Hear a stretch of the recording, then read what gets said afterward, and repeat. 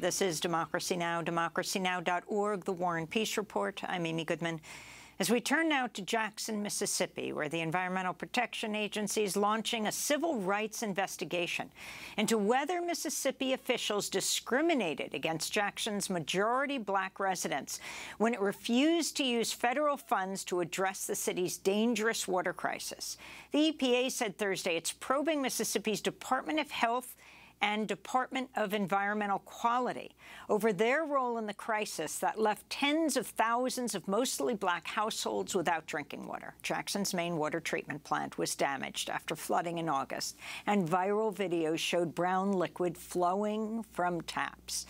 In 2021, residents lost access to drinking water for weeks after a deep winter freeze. Even when the water's running, residents have faced months-long boil water orders. A complaint filed by the NAACP led to the EPA's investigation. NAACP President Derrick Johnson lives in Jackson and called the state's record of divestment systemic neglect. Mississippi's received federal funds to address drinking water needs since 1996, but gave Jackson funds just three times. For more, we're joined from Jackson, Mississippi by Abre' Conner, director of the NAACP Center for Environmental and Climate Justice. Welcome to Democracy Now!, Abre'. It's great to have you with us. Why don't you lay out the issue, including the governor mocking Jackson for its water crisis, and what Congress allocated for Jackson, and yet it didn't actually go there? Yeah.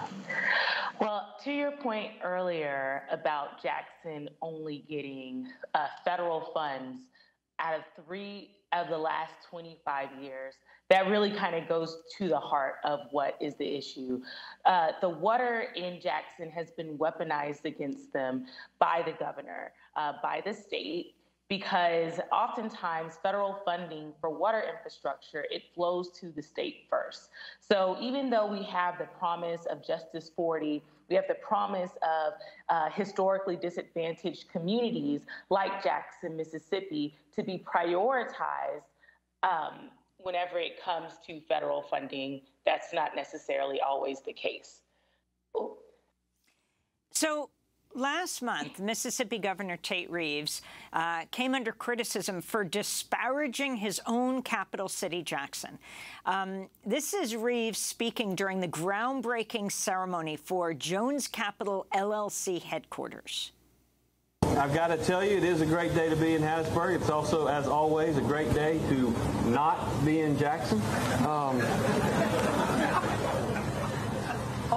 always a great day to not be in Jackson. Jackson is overwhelmingly African American, over 80% of the city. Abre', talk about this. Yes.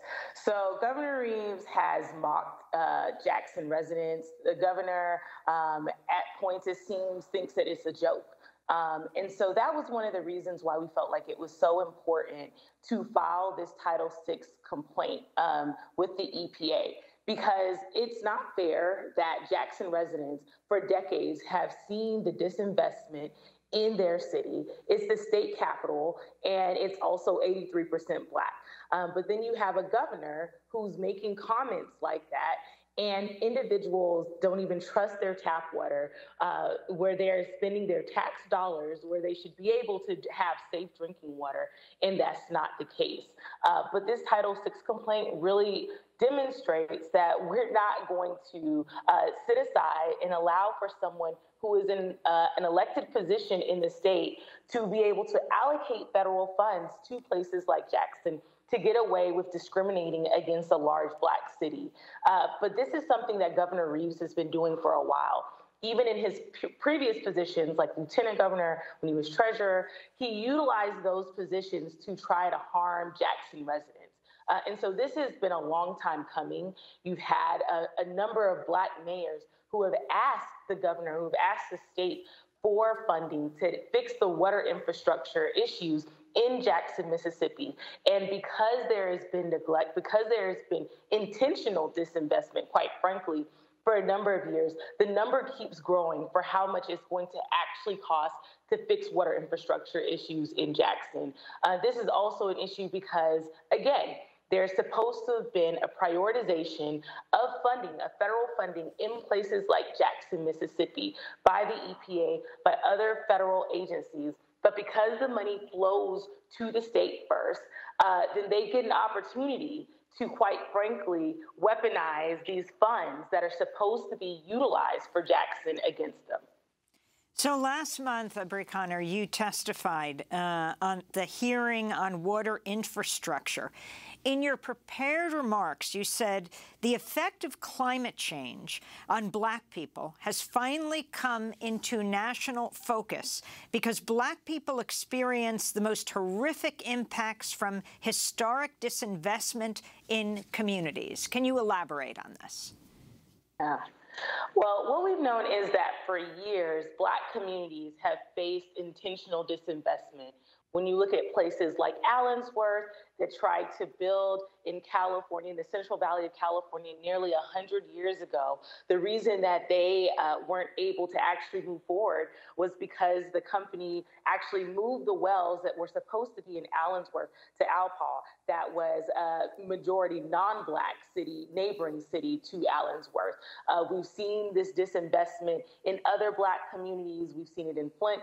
We uh, saw the crumbling of Rosewood, for example, because the governor failed to respond uh, in a manner, in a, in a timely manner. Uh, and so now we're finally getting to a place where uh, we see what's happening in Jackson. We see Congress actually also opening up an investigation with Homeland Security as well. Uh, and then we have the EPA, who is opening for the first time this new external civil rights uh, office and Office of Environmental Justice with Administrator Regan. Uh, but there were for years uh, a time where the EPA was not even opening up Title VI complaints. And so it's not like the environmental justice issues weren't happening during that time. It got to a, a, place where, quite frankly, groups felt like they needed to actually sue the EPA to get them to do their job to help historically disadvantaged communities. And so it's, it's a time that uh, we really have an opportunity to make right the wrongs that have happened to Black communities and to other historically disadvantaged communities for years. Um, but this is really just a first step uh, because, again, this is really an opportunity for the EPA to also demonstrate that through this complaint um, is going to prioritize the communities, is going to prioritize community groups who have been a part of this effort, uh, and that we're able to actually get the resources to flow directly to Jackson, Mississippi. Um, you have a letter that was written um, to the governor by Democratic Representatives Benny Thompson of Mississippi and Carolyn Maloney of New York, asking how Jackson's water system is crumbling despite Congress authorizing hundreds of millions of dollars last year to Jackson. And compare that to the white suburbs right outside Jackson.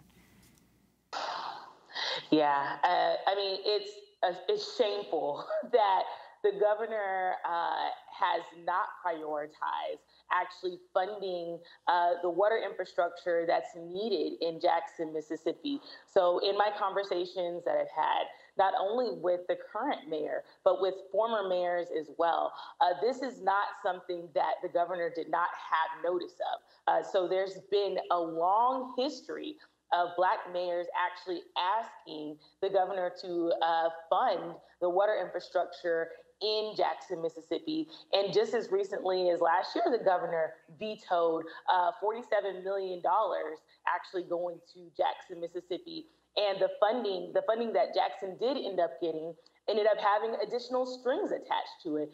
So for uh, the American Rescue Plan funding that Jackson has, it's the only city in the state that has two different approval processes that it has to go through in order to get projects approved. So it has to go through um, Department of Environmental Quality and also the Department of Finance and Administration. It's the only city in the entire state that has to go through this process. Um, there's no uh, actual legislative history as to why specifically only Jackson has to go through this number of processes, but it actually goes to the uh, disinvestment that Jackson has continued to see the a number of hurdles that Jackson has to go through in order to try to rebuild. Uh, it's not like people at the local level aren't trying, but when they're faced with a number of hurdles and obstacles over and over again um, at the state level, again, where they have hundreds of millions of dollars um, with the bipartisan infrastructure law. There were hundreds of millions of dollars that were placed uh, into allocation for historically disadvantaged communities for places like Jackson, Mississippi, and that has not happened. Uh, with the most recent intended use plan, that the state, for example, submitted to the EPA. It capped loan forgiveness uh, for these infrastructure plans at $500,000, knowing that it's going to take a lot more than that to fix the water issues in Jackson, Mississippi.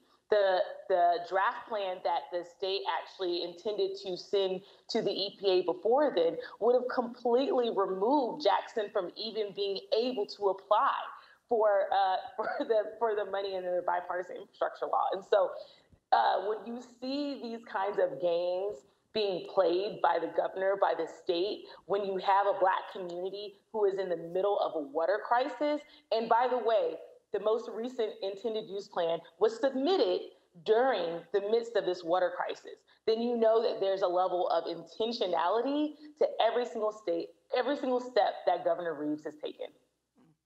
So obviously this uh, reeks of uh, Flint. I mean, it sounds so similar to Flint. We did a Democracy Now! Uh, documentary called Thirsty for Democracy, looking at Flint, where the activists were saying this is not just an environmental problem, uh, the lack of access to clean water in Flint, Michigan, another majority black city. Um, this is a problem of democracy. How will your complaint, how will your, is it called a lawsuit, um, affect cities like Flint? So it's an administrative complaint um, that you are able to file directly with a federal agency. In this state, in this situation, we filed it with the Environmental Protection Agency, uh, and we filed it under uh, the under Title VI for purposes of regulatory um, kind of overseeing what's happening in the state. And this complaint actually um, is representative of the number of years that historically disadvantaged communities, number one, could not utilize the EPA to help with issues related to discrimination um, in environmental ha hazards, environmental racism. Uh, but this was really an opportunity for the EPA to demonstrate to these communities that it had been silent towards for a number of years, that they are also going to prioritize historically disadvantaged communities like Jackson, that they're going to prioritize the communities that it left behind for almost a decade, and that they're going to try to come up with solutions um, that's going to center Jackson residents. And so we hope that this not only helps the residents in Jackson because they've been dealing with this for years, but that it also can serve as a model for other governors who, quite frankly, have also been slow to responding to historically disadvantaged communities, to Black communities across the country, so they can understand that there is a, a mechanism that we can use to hold them accountable and say that we are not going to allow for Black communities to be left behind when we understand that safe drinking water, that living in communities where we are bearing the brunt of all the, this contamination, pollution, that there is going to be a mechanism that we can utilize and ensure that we are prioritized moving forward. Abre' Conner, we want to thank you so much for being with us, uh, Director of the NAACP Center for Environmental and Climate Justice. Next up, we go to Little Rock. We'll look at how the ACLU is asking the Supreme Court to overturn an Arkansas anti-BDS law that penalizes companies that support boycotts of Israel. We'll speak to the publisher of the Arkansas Times, who sued the state to overturn the law. We'll also be joined by the ACLU attorney who appealed to the Supreme Court and the director of the documentary Boycott. Back in 30 seconds.